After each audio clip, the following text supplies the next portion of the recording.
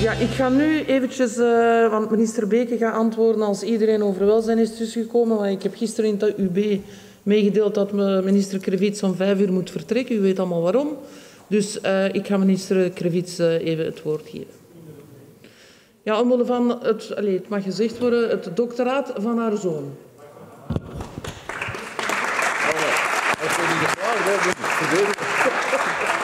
Nu, nu, nu, is de stress in Leuven aan het, aan het toenemen, want de, de verdediging begint om zes uur. Hij is heel zenuwachtig en dat applaus is misschien te vroeg, hè, wie weet.